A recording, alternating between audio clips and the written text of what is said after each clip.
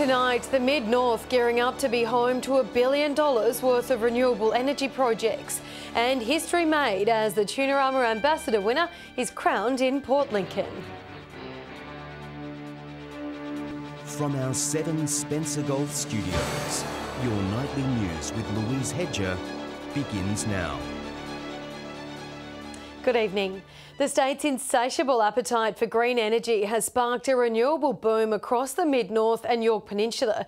Recent efforts to bolster South Australia's energy security has led to a market explosion, offering hundreds of jobs and more than a billion dollars worth of investments. South Australia is on track of meeting its target of 75% clean energy by 2025. And the state's hunger for renewables is making the Yorke and Mid-North regions look unseasonably green. We're starting to see a lot more higher rates of renewable penetration, not just in South Australia, but right across the national electricity market on the East Coast. The previous state government's emissions targets opened the floodgates to a multi billion dollar market, with projects bringing hundreds of new jobs to the region. More than a billion is being spent on solar farms in the mid north alone, with the Robertstown 500 megawatt project expected to create 350 new jobs. The $65 million solar farm outside of Port Pirie is also well underway, which is employing around 200 workers during its installation. It's also bolstering SA's energy security. Following the 2016 blackouts, the state has been shifting towards diversifying the grid through more localised storage facilities. Dalrymple's new $30 million battery has come online with YP residents reaping the benefits. The battery can provide backup power to approximately 4,500 customers in the Dalrymple service area for around two to three hours on average. It is actually pretty a pretty serious backup on on the end of the network in that particular area. Dominic Beaton, 7 Spencer Gulf News. A 29 year old man has been arrested in Port Augusta after he allegedly tried to swim to evade police following a late night robbery. Authorities were called to Tassie Street Tavern at 11.30 last night after reports a man had stolen two cartons of beer from the premises. The suspect was quickly tracked down and dropped his beers as officers gave chase. He fled into the water to escape police, but after negotiations made his way back to land, where he was arrested and charged with a number of offences, including theft and serious criminal trespass. The Port Lincoln State Emergency Service was kept busy with two sea rescues over the Australia Day long weekend. Volunteers first responded to a Mayday call off Thistle Island late Saturday afternoon, where a charter boat had hit a reef. The rescue shark cat was already on the water at the Tunarama Festival and was able to assist along with a number of private vessels. A fishing charter also required assistance at sea just off the Coffin Bay National Park on Monday afternoon. A mining company with a developing project near Broken Hill is excited for what 2019 will bring. Carpentaria Resources says it's pushing for further funding to go towards a feasibility study for the Hawsons Iron project. Eyes on the prize. One month into 2019 and Carpentaria has mapped out what it wants to achieve now and into 2020. Our immediate goal is to secure that feasibility funding and I'm not going to put a time on that.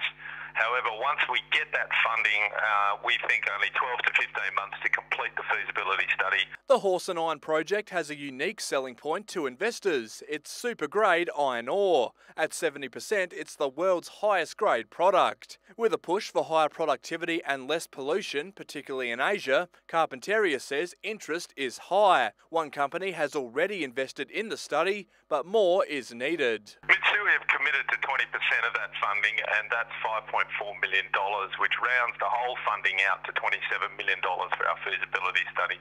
Now, that's around 10 to 12 million dollars in drilling and then the rest on engineering and environmental studies. The Hawsons project is 60 k's from Broken Hill, providing access to vital infrastructure. Mr Hill says working closely with the Silver City and creating jobs would be very rewarding. Secure that funding, we're doing everything in our power to do that. We think the market conditions uh, are still very good.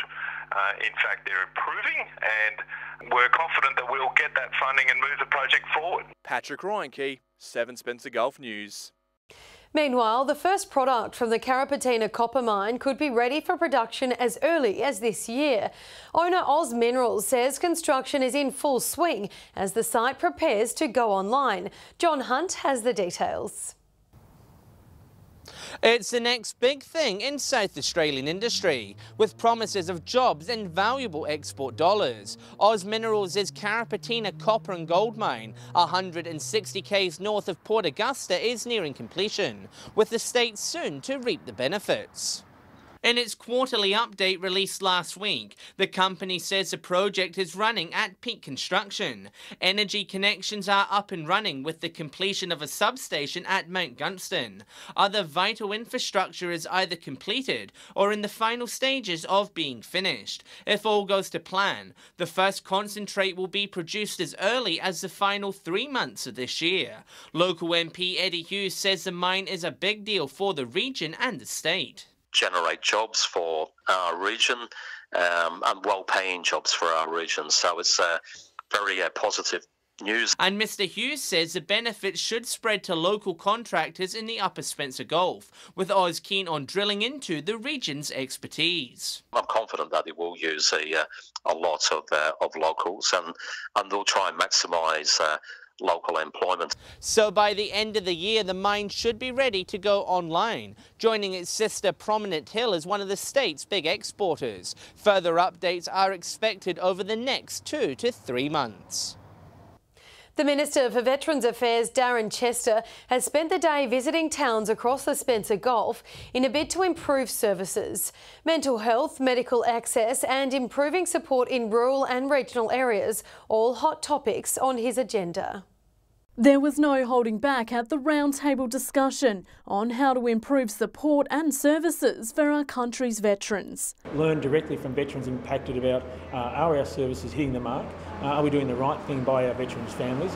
And is there more we can be doing as a government and a community?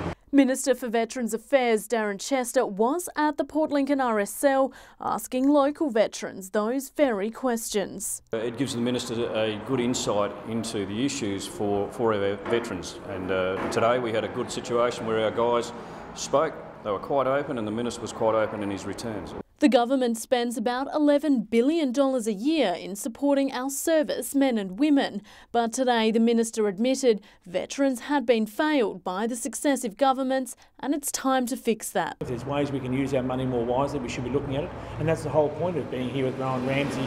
The biggest issue was around access to mental health and medical services. Hearing from veterans about their need to access mental health services, unfortunately, it doesn't surprise me. It doesn't surprise me because we do have a lack of specialist services in many of our rural and regional areas. As well as a lack of traceability for veterans post service. There are veterans that have served over the past 50 years who have gone on with their lives and have not reached out to DVA in any way and not accessed services. Today, the Minister also met with veterans in Port Augusta and Moonta.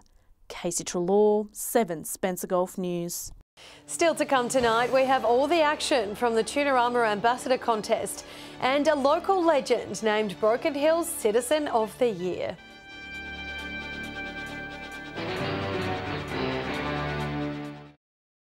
Welcome back. The Tunarama Festival crowned the 2019 Ambassador at the Gala Quest Awards over the weekend. This year's winner was the second male to ever win the coveted title throughout the Quest's history. There was plenty of hot competition for the seven entrants vying for the title of the 2019 Tunarama Ambassador. I'm so proud of all of them. They are very, they've represented their community well. Over the last three months, the entrants worked hard to raise funds for their chosen charities. They have actually raised collectively over $98,000. This is money injected into those charities that they wouldn't have had if um, the quest wasn't in existence. In a new public format on the Tunarama main stage on Friday night, each entrant gave their final speech.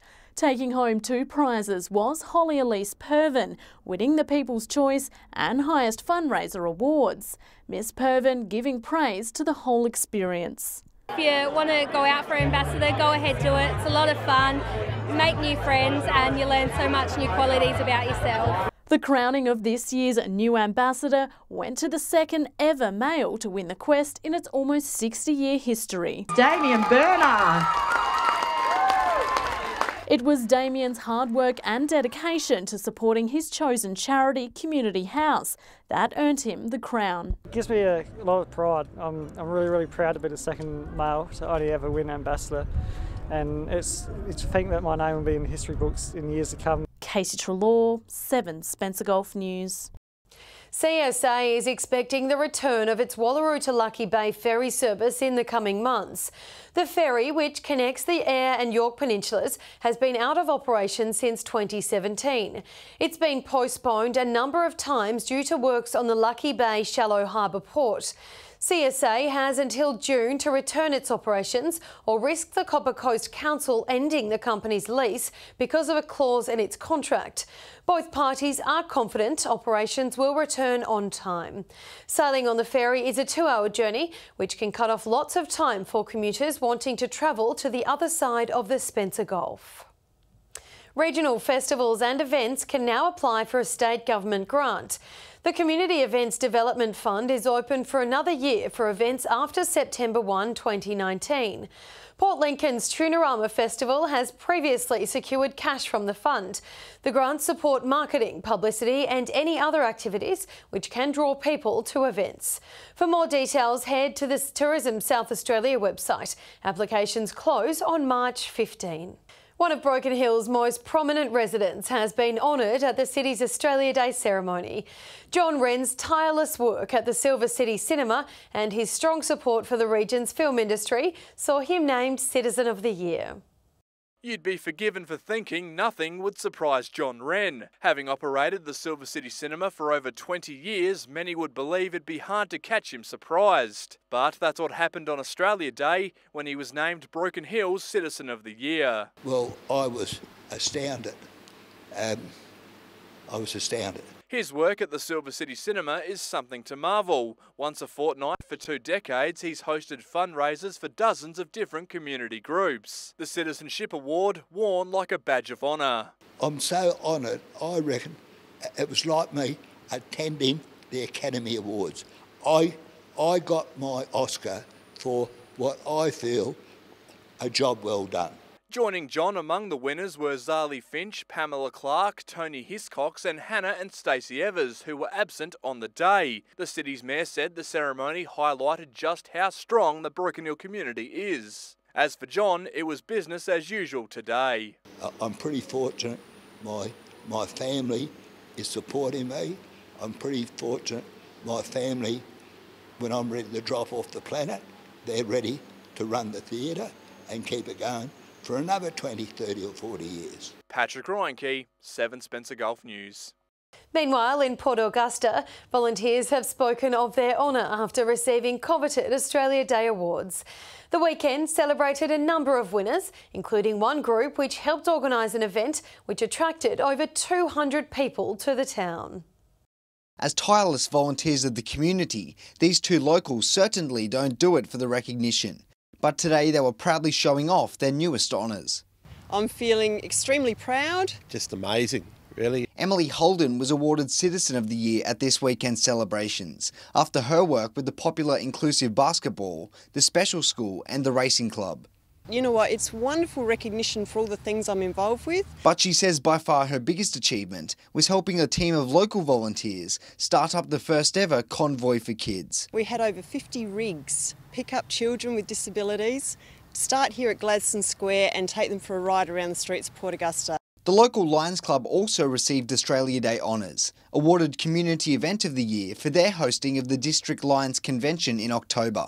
The event returned to town for the first time since the 1980s, with hundreds of South Australian members in attendance. From a community event point of view, it certainly was the biggest uh, event and uh, it went well. Uh, they created about 250 people visited our town for three days and they exposed them to our Pichi Richi Railway. They actually booked a train and took them for a tour. The Mayor says the Lions Club of 49 volunteers, plus other winners like Young Citizen of the Year Lennox Kennedy, are just some examples of Port Augusta's community spirit put a lot of effort in to do what they do and they, they're trying to create an atmosphere in our community to make people come and want to see what we've got. Garth Burley, 7 Spencer Gulf News. Port Pirie has officially welcomed a handful of eager new medical students to the mid-north. Taking part in the Rural Medical Placement Program, it's hoped they will decide to stay on to quench the region's doctor drought.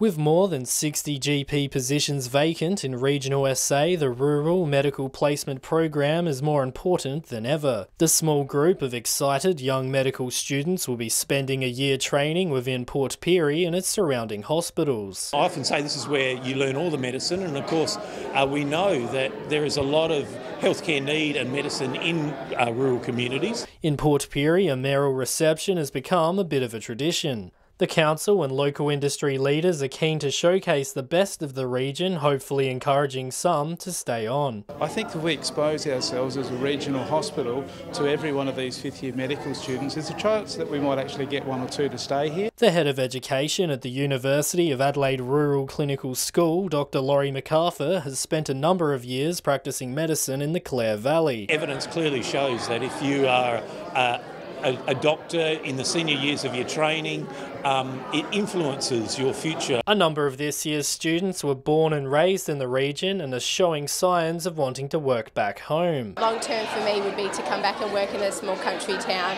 but I think that everyone that's taken on the rural fifth year program is interested in uh, rural health itself. Dominic Beaton, 7 Spencer Gulf News. Stay with us after the break.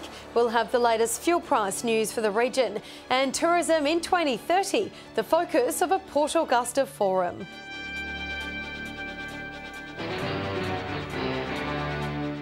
Welcome back. Far North tourism operators say improved roads and infrastructure are needed for visitor numbers to grow in the area. A tourism forum held in Port Augusta today had state tourism officials putting their heads together to plan for the sector's future. With some of the best rural scenery and experiences in Australia, there's no doubt why the tourism of the Flinders and Outback is worth over $430 million annually. But the state tourism body would like to see that number grow even further, today holding a forum to plan for tourism in 2030. What are the points that are really going to grow uh, in terms of the visitor economy? Today's session in Port Augusta is the last of 16 already held across the state. They're hoping to gather data from local tourism operators on the front line about what can be improved over the next 11 years. The investment in marketing. How do we use events to grow a visitation? A recent windfall in regional tourism has seen 2,000 jobs created over the last three and a half years. But operators from the far north say for the industry to keep growing, roads and infrastructure need to be improved. It's all about connectivity and connectivity not just in the digital sense but certainly with with roads and transport that that will make differences. Information acquired from these forums will now be made into a report, which the State Tourism Commission says will help form the basis of consultation with all levels of government. What we're trying to do is to bring all of the views and the thoughts together so that the visitor economy is captured strategically. Garth Burley, 7 Spencer Gulf News. Time now for Fuel Watch, our look at how petrol prices are stacking up around the regions. Here's Patrick in Broken Hill. Well, petrol prices have had an unpredictable week this week. Some are up, some are down, and others have broken even. Starting with unleaded, as usual, and Port Lincoln has enjoyed a week of no movement and still averages $1.30. Whyalla is the first to see red going up by about 3 cents, the price now 135. Port Augusta has gone down by a little, and that's the same story in Broken Hill. Kadina joins Port Augusta on 129. Port Pirie is one cent cheaper after going up by about a cent. Adelaide is on the downward trend this week. The price there is only a dollar and 21 cents. Turning over to diesel now, and it's a bloodbath. Red everywhere. Some are not doing as bad as first thought, though. Whyalla and Port Augusta are both still averaging the same price as last week. Port Lincoln has gone up by about a cent. Port Pirie and Kadina have both followed suit. Here in Broken Hill, we've also gone up by a cent or so. We're now paying around $1.47. Adelaide has gone up by two. And closing with a quick look at auto gas, and there's not really much to talk about. Whyalla is the only one to see some green, dropping down by 2 cents, but it's still the most expensive. Kadina saw some red, but it was only a minor change. The price there now around 84 cents. Now remember, these prices are the regional averages and they do not reflect any one particular outlet. And if you do find a spot that does sell unleaded or diesel or auto gas for cheaper, be sure to let us know on our Facebook page. Stay with us after the break. We'll have all the latest on the weather front.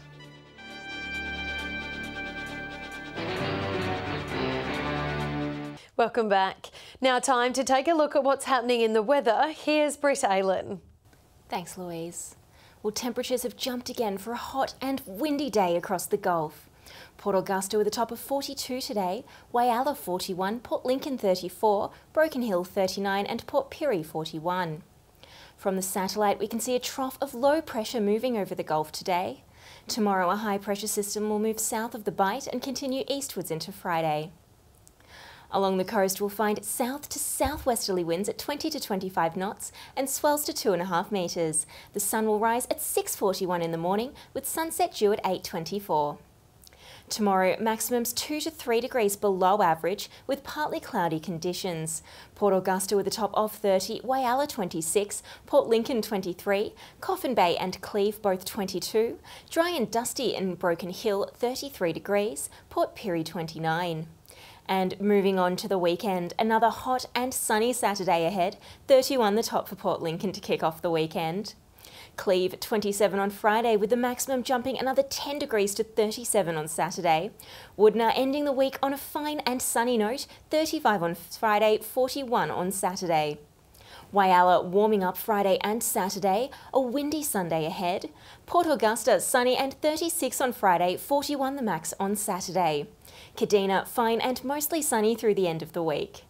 A sunny day at Port Pirie on Friday, sunny again with a top of 38 on Saturday. Similar conditions for Clare, 30 on Friday, 37 on Saturday. And nice and sunny in Broken Hill, 33 on Friday and a top of 39 on Saturday. And Louise, that's all for today's weather. Thanks for that, Britt. That's your local news this Wednesday evening. We will have more updates later, but until then, good night.